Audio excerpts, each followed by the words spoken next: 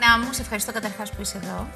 Εγώ ευχαριστώ πάρα Που πολύ τα για την καταφέραμε. πρόσκληση. Γιατί είσαι ταξιδιάρα, είσαι ένα παιδί ταξιδιάρικο. Όποτε συνεννοούμαστε, όλο και κάποιο ταξίδι Κάπου είναι είμαι, μπροστά σου. ναι.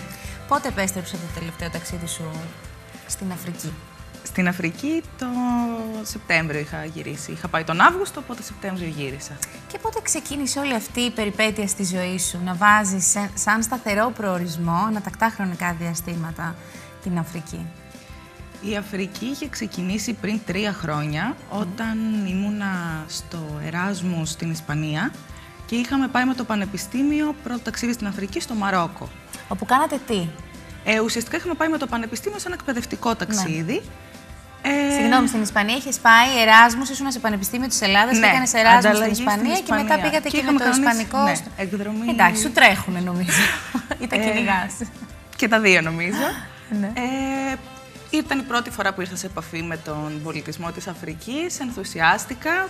Μου είχε φανεί τόσο διαφορετικός και τόσο ενδιαφέρον. Ναι. Που από τότε προσπάθησα να βρω τρόπους που να συνδυάσω το ταξίδι στην Αφρική μαζί με το εθελοντικό κομμάτι. Και για πάμε να δούμε λοιπόν αυτό το εθελοντικό κομμάτι, γιατί ωραία η ψυχαγωγή, ωραία η διασκέδαση, ωραία τα ταξίδια, αλλά εσύ θε, θέλησες να τους προσδώσεις έναν άλλο χαρακτήρα και άλλο περιεχόμενο.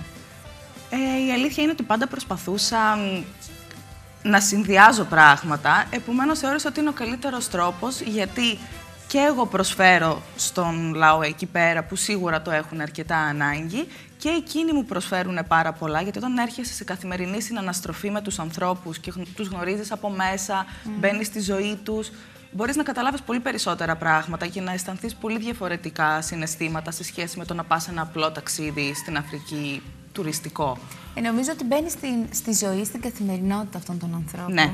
Πραγματικά Γνωρίζεις για τα μπαίνεις καλά. μέσα στο, στην οικογένειά τους, μπαίνεις μέσα στα σπίτια τους, ζεις τον τρόπο ζωής, τα ήθη τους, τα έθιμα, τα, τα πάντα. Δηλαδή... Και το εθελοντικό έργο στο οποίο συμμετέχεις εσύ, σε ποιο κομμάτι της ζωής αυτών των ανθρώπων έρχεται να προσθέσει, να βοηθήσει; Ε, έρχεται ουσιαστικά να βοηθήσει στο ότι αναλαμβάνουμε σε κάθε κατασκηνωτική περίοδο γύρω στα 100 με 120 παιδιά, τα οποία τα αναλαμβάνουμε εξ ολοκλήρου από διατροφή, φάρμακα, εμβόλια, εκπαιδευτικό κομμάτι, εκδρομές, ε, πρώτη ύλη που τους δίνουμε πέρα από τα τρόφιμα, τους πηγαίνουμε κάποια ρούχα, κουβέρτες, ε, γραφική ύλη για, τα, για το σχολείο, οπότε προσπαθούμε μέσα σε αυτό το μήνα ό,τι περισσότερο μπορούμε να προσφέρουμε και σε υλικά και σε Και όλα αυτά στα προσωπικά πλαίσια της εφόδια. συμβολής, έτσι, Ναι, που ναι, είναι ναι, μια μη με την κυβερνητική οργάνωση της οργάνωση.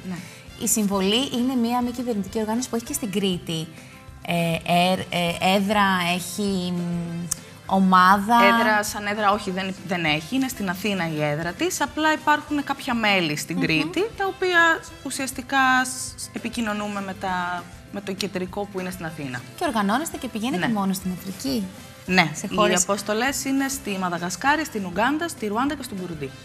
Όπου εκεί τι ακριβώς, τι καταστάσεις καθημερινότητας βρίσκεται και γιατί πηγαίνει συμβολή μέχρι εκεί; Φαντάζομαι η Μαδαγασκάρη δεν είναι μόνο αυτό το εξωτικό μέρος που έχουμε στο μυαλό Όχι, μας. σίγουρα Η καθημερινότητα όχι. είναι πολύ πιο δύσκολη. Καμία σχέση με αυτό που έχουμε στο μυαλό μας και εγώ πραγματικά είχα σοκαριστεί όταν έφτασα στη Μαδαγασκάρη γιατί πέρα από το τροπικό κλίμα και τη φύση οι συνθήκες διαβίωσης των ανθρώπων εκεί είναι ανάλογες με την Ουγγάντα και την Αιθιοπία οπότε δεν είναι αυτό που έχουμε στο μυαλό μας σε καμία περίπτωση.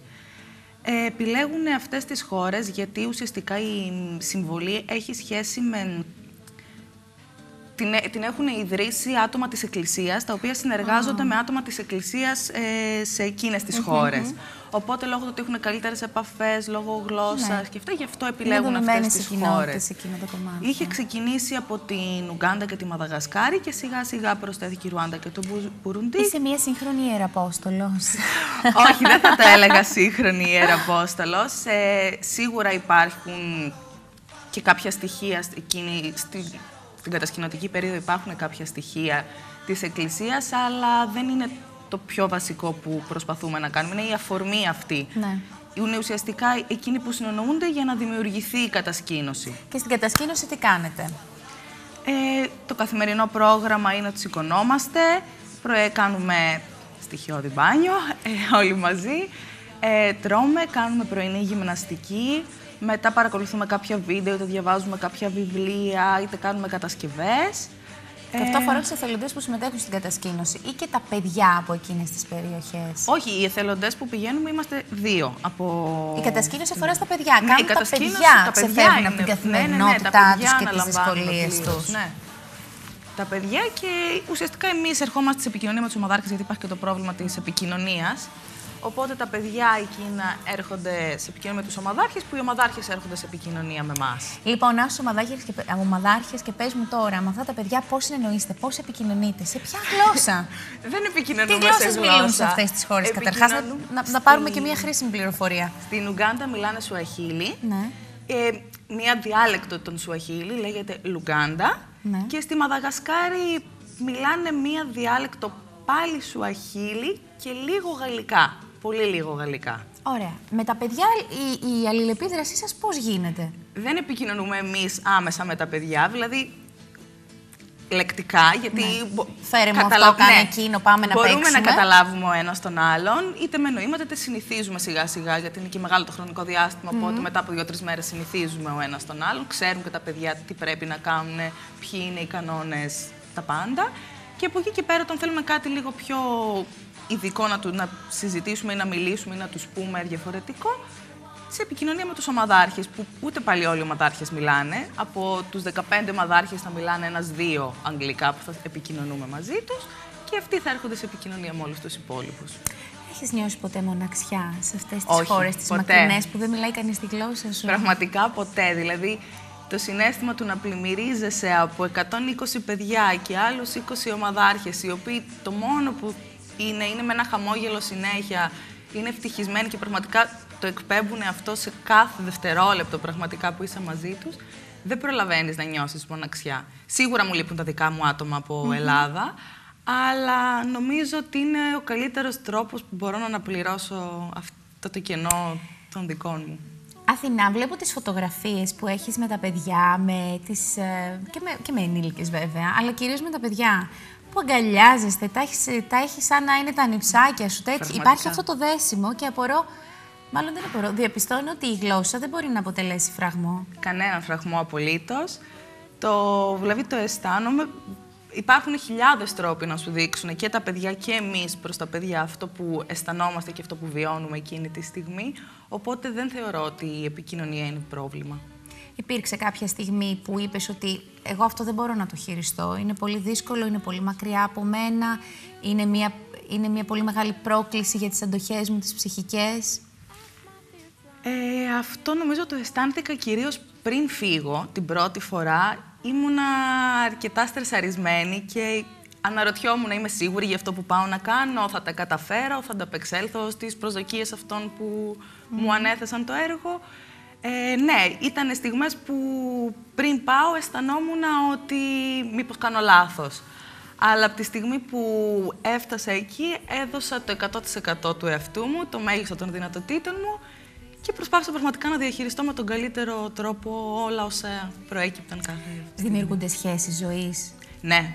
Δηλαδή θυμάμαι ότι ήταν μία από τις απορίες μου την πρώτη φορά που είχα πάει. Λέω, ωραία, συναναστράφηκα με αυτούς τους ανθρώπους, έγινα σχεδόν ένα με αυτούς, γιατί πραγματικά δενόμαστε τόσο πολύ και δεν θα τους ξαναδώ αυτούς τους ανθρώπους, ποτέ θα ξαναμιλήσω ποτέ μαζί τους. Και θυμάμαι χαρακτηριστικά με τους ομαδάρχες, όχι τόσο με τα παιδιά, ε, μ, κάποιοι ομαδάρχες προσπάθησαν να φτιάξουν Facebook για να επικοινωνούμε. Ένας ομαδάρχης μάλιστα κατάφερε και ήρθε Ελλάδα εδώ πέρα και τον είδα εδώ πέρα. Περάσαμε κάποιες μέρες όλοι μαζί. Με τα παιδιά σίγουρα η επικοινωνία είναι πάρα πολύ δύσκολη. Μέσω των μεγάλων ρωτάω και μαθαίνω για κάποια παιδιά που όσο μπορώ περισσότερα. Και μου έχουν τύχει και δύο περιπτώσεις που οι πατέρες δύο παιδιών μου έχουν ε, στείλει μήνυμα γράμμα ότι τα παιδιά με αναζητάνε, Αχ, με μωρέ. θέλουν. Και πώς νιώθεις όταν, τα, όταν παίρνεις αυτά τα Πραγματικά. γράμματα; Δε, συγκινούμε πάρα πολύ και σκέφτομαι πότε και πώς θα μπορέσω κάποια στιγμή να ξαναπάω. Πόσες φορές έχεις πάει; Τρεις. Τρία ταξίδια σε τρεις διαφορετικές Ναι. χώρες. Ε, σε αυτές τις χώρες υπάρχει τεράστια διαφορά στην καθημερινότητα, στα ήθη τους, ε, Όχι. στην κουλτούρα τους; Όχι, δεν υπάρχει διαφορά.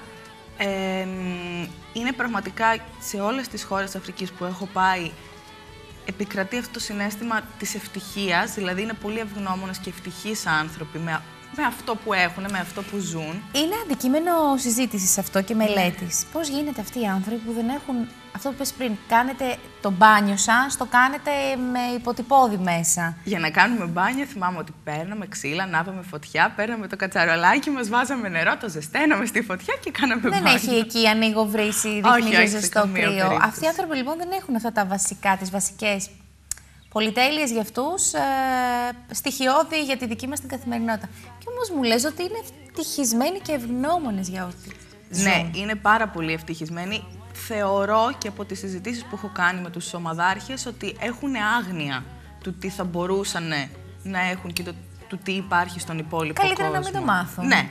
Δεν έχουμε κερδίσει δεν, δεν υπάρχει λόγος να το μάθουν. Έχουν άγνοια λοιπόν του τι επικρατεί στον υπόλοιπο κόσμο.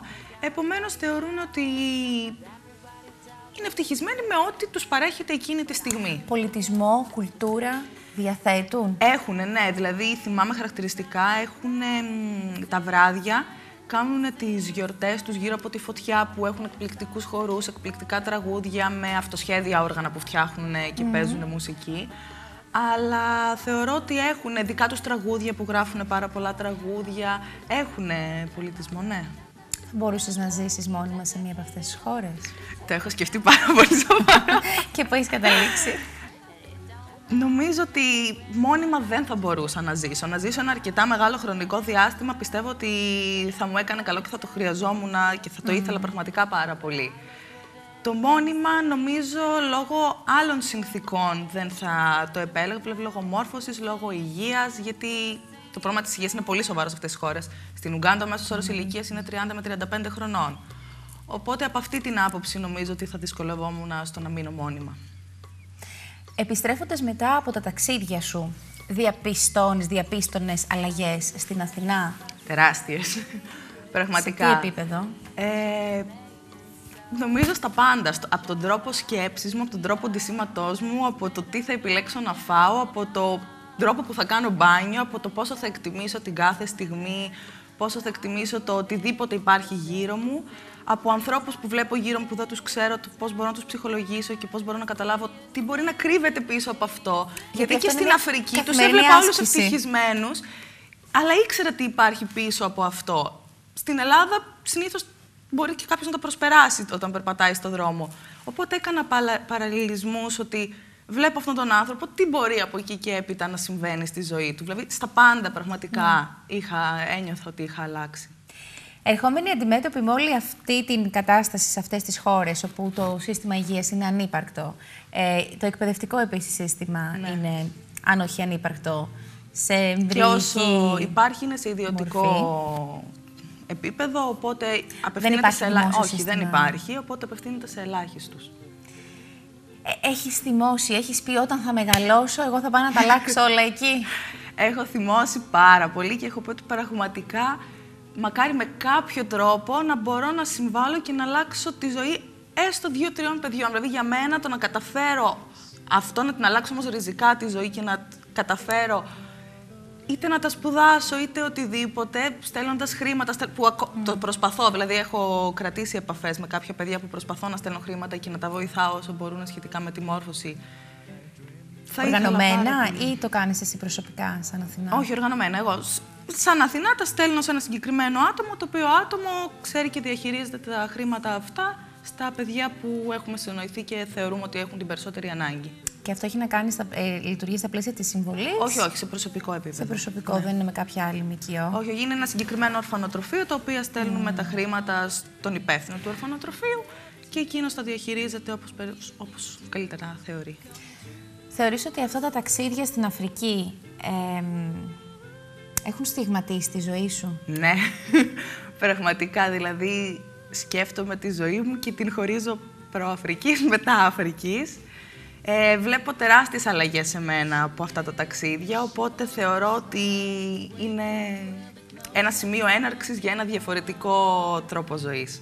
Από Άρα, εκεί και να υποψιαστώ και αυτά που έχεις φέρει και θεωρείς ότι σε αντιπροσωπεύουν είναι από τα ταξίδια σου στην Αφρική; Ναι, σίγουρα. Για δείξε μου. Λοιπόν, το ένα ήταν αυτή η κούκλα που μου την είχε φτιάξει ένα παιδάκι στην Αφρική, στην ναι. Ουγγάντα, από φύλλα μπανανιάς, τα οποία τα αποξηραίνουν και είναι τα παιχνίδια τους. Που μπορούμε Όλα να αυτοσχέδια. θεωρήσουμε. Όλα, όλα Και όλα με αυτοσχέδια. φυσικά υλικά. Ναι. Και δηλαδή την έφτιαξε το ίδιο το παιδάκι και, και μετά το ίδιο το παιδάκι την κράτησε και ήθελε να την παίζει. Οπότε όταν επέστρεψα εγώ στην Ελλάδα, την ώρα του αποχαιρετισμού μου λέει πάρε και αυτή την κούκλα να μας θυμάσαι. Είναι από τα αντικείμενα που πραγματικά αγαπάω πάρα πολύ. Τα προσέχω, μην μου χαλάσουν, μην... γιατί επειδή είναι και από φυσικό υλικό, είναι πολύ εύκολο να χαλάσει. Το ένα λοιπόν προσωπικό αντικείμενο είναι αυτό. Ερώτηση. Αυτά τα παιδιά εκτίθενται σε παιχνίδια του σύγχρονου δυτικού όχι, πολιτισμού; Όχι, όχι, δεν έχουμε υλικά παιχνίδια. Τα μόνα που μπορούμε να παίξουμε είναι κάποιο σκηνάκι, κάποια Ναι. μπάλα. Τα οποία Δεν σας τα επιτρέπεται να κουβαλήσετε τα πλαστικά παιχνίδια που παίζουν τα δικά μας παιδιά ενδεχομένως και να Ε, τους τα δεν δώσετε; μπορούμε να κουβαλήσουμε και τόσα πολλά πράγματα. Επι- προσπαθούμε να κουβαλούμε πιο- α, ε, Ουσιώδη. πράγματα όπως φάρμακα, κουβέρτες, γραφική ύλη, βιβλία και αυτά που μπορούν ε, να τους διαβάσουν. Τα παιχνίδια προσπαθούμε να είναι αυτοσχέδια που να μην... Γιατί Ξέρεις, υπάρχει πιστεύω. 120 παιδιά, το να πας και 10 παιχνίδια μπορεί να, δημιουργήσει, να μου δημιουργηθεί πρόβλημα. Νομίζω ότι αν ένα παιδί, α, κάποια από αυτά τα παιδιά που δεν έχουν επαφή με τα παιχνίδια, τα πολύχρωμα, τα, τα φοβερά, τα, πλαστικά. φανταστικά, τα πλαστικά που έχουν τα δικά μας παιδιά εδώ, έρθεις σε επαφή, ναι, θα ενθουσιαστεί στην αρχή, θα παίξεις, θα παίξεις, θα του παίξεις φανεί και ξένο. μετά νομίζω θα το παρατήσει. Θα του φανεί ξένο. Δεν ξέρω αν είναι το ξένο. Αυτό το έχει φτιάξει μόνο του. Έχει πάει, έχει μαζέψει τα φύλλα μπανανιάς. Το έχει φτιάξει, το έχει, το έχει δώσει τη δική του την ψυχή. Έχει αρχίσει να παίζει μαζί του από τη στιγμή που σκέφτηκε ότι θέλει να φτιάξει. Θέλει την να δη- κούκλα. το δημιουργεί από μόνο του εξ αρχής. Ωραία. Ναι. Υπέροχο αυτό. Το δεύτερο αντικείμενο είναι ένα τραγούδι το οποίο το είχαν γράψει οι ομαδάρχες για το βράδυ που τραγουδούσαμε γύρω από τη φωτιά. Ναι. Το οποίο βέβαια δεν μπορώ να καταλάβω και πολλά, αν και το ρυθμό τον, τον ξέρω, τον Ναι. έχω μέσα μου. Από τα λόγια, αυτό που λέμε την ουσία μόνο. Ναι. Ε, και είναι ένα τραγούδι το οποίο πραγματικά το έχω και σε βίντεο. Πάρα πολλές στιγμές τις οποίες νιώθω είτε στρεσαρισμένη είτε αγχωμένη με κάτι, το βάζω και μόλις το ακούω με ένα μαγικό τρόπο, πραγματικά ηρεμώ, χαλαρώνω, μου έρχονται εκείνες οι εικόνες στο μυαλό και... Τι λέει αυτό το τραγούδι; Λέει Μέσα στις ουσιαστικά, άκρες. Δεν είναι ερωτικό τραγούδι και τα περισσότερα δεν είναι ερωτικά τραγούδια από αυτά που έχουμε συνηθίσει εμείς εδώ πέρα. Είναι τραγούδι για την καθημερινή ζωή, για το, την ευτυχία που βιώνουν οι άνθρωποι και σε αυτό το τραγούδι συγκεκριμένα δηλώνουν την ευγνωμοσύνη τους για όλο αυτό που έχουν βιώσει εκείνες τις μέρες της κατασκήνωσης, σαν ευχαριστήριο ας πούμε. Υπέροχο. Είναι αυτό. πάρα πολύ ωραίο. Θυμάσαι το Πραγματικά. ρυθμό να μας το τραγουδίσεις. Άμα θες. Ε, μόνο τους δύο πρώτους στίχους Ναι. θα πω. Χαφαλίνα φάνα τσεκελάβα αντεμαχά Η αμίνε φάνα τσεκελάβα αμαμαχά Ο ρυθμός είναι αυτός. Έχει Σαν αισιοδοξία ονούλη. κρύβει Ναι, ναι, μέσα ναι, του ναι, και ο ρυθμός. πραγματικά. Αυτό είναι, σε... περίμενε, αυτό είναι γραμμένο Είναι στη τοπική λατινική διάλεκτο. χαρακτήρα. Είναι λατινική Ναι, χαρακτήρα. λατινική χαρακτήρας, αλλά είναι η τοπική τους διάλεκτο, το λεξιλόγιο. Τι σημαίνει το χαφαλινό. Είναι το, είναι το τραγούδι, ο τίτλος του τραγουδιού. Ας πω ακριβώς δεν θυμάμαι, το έχω σημειωμένο. το έχω σε ένα άλλο χαρτί μεταφρασμένο όλο. Έχεις φέρει και κάτι άλλο; Το τρίτο προσωπικό αντικείμενο που είχαμε πει να φέρω δεν σχετίζεται τόσο με την Αφρική, αλλά ήταν η αφορμή η Αφρική. Είναι αυτό το κρεμαστό το οποίο φοράω πάντα, το οποίο ουσιαστικά προσπαθούσα να βρω κάτι που να μου θυμίζει την Αφρική και όλες τις εμπειρίες που έχω ζήσει γενικότερα στα ταξίδια, το οποίο προσπαθούσα να βρω τι θα είναι και σκέφτηκα μόνη μου ότι ένας χάρτης σε μορφή κρεμαστού θα ήταν πάρα πολύ ωραίο, οπότε το σκέφτηκα, πήγα, Το το έχεις φανταστεί τα σχεδίασε. Πιάσου. Ε, και το έχω συνέχεια μαζί μου πάντα, δηλαδή δεν το βγάζω ποτέ. Αθηνά, σε ευχαριστώ πάρα πάρα πάρα Εμείς πολύ. ευχαριστούμε πάρα πάρα πολύ. Σου εύχομαι ε, το επόμενο ταξίδι είναι άμεσα προγραμματισμένο. Τώρα το συζητάμε το καλοκαίρι πώς μπορούμε να το οργανώσουμε, γιατί υπάρχουν και αρκετές δυσκολίες, οπότε συζητάμε τι μπορούμε να κάνουμε φέτος το Εύχομαι να καλοκαίρι. εξαφανιστούν αυτές οι δυσκολίες λοιπόν από το Και χάρτη εμείς το των ευχόμαστε σχεδίων σας πραγματικά. Και να τα καταφέρετε. Να έχετε κάνει κάποιο ταξίδι μαζί μας, πολύ ευχαρίστως. Το ήθελα Θα είναι πάρα πολύ ωραία Για να εμπειρία. είμαι ειλικρινής.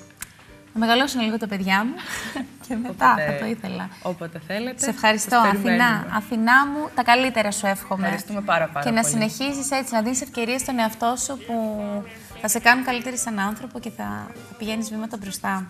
Ευχαριστούμε καλά. πολύ. Και εσείς να είσαστε καλά. Τα φιλιά μας, τα χαιρετίσματά μας και την υπόσχεσή μας να τα πούμε την επόμενη φορά. Φιλιά πολλά.